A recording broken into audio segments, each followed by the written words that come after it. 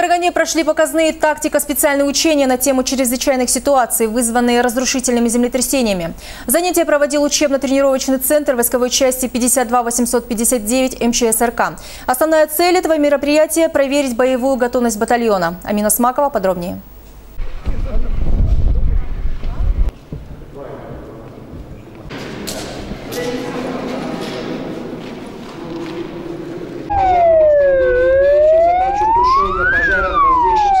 Организаторы мероприятия постарались включить в подобные практические учения все виды чрезвычайных ситуаций. Среди них ликвидация аварий на химическом опасном объекте, тушение очага возгорания в автомобиле, извлечение пострадавших из салона и из-под автомобиля при возникновении дорожно-транспортного происшествия, деблокирование пострадавших из-под завалов и многое другое.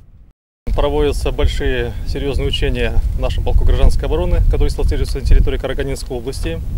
Данный полк специально сформирован для оперативного оказания действия помощи при возникновении крупномасштабных чрезвычайных ситуаций. Спасатели должны уметь не только пожары тушить, но и по скалам лазить, ведь ситуации бывают самые разные, особенно связанные с высотой. Они должны использовать все свои физические возможности, тем более, что у многих спасателей большое будущее, и они уже делают успехи в своем нелегком деле. В связи с скалолазанием вот я пришел вот в МЧС, этот, э, это да.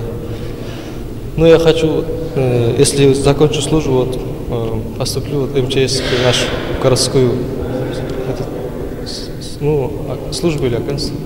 Там э, МЧС делится на отделение, ну, я пойду, наверное, в горное отделение, там буду работать.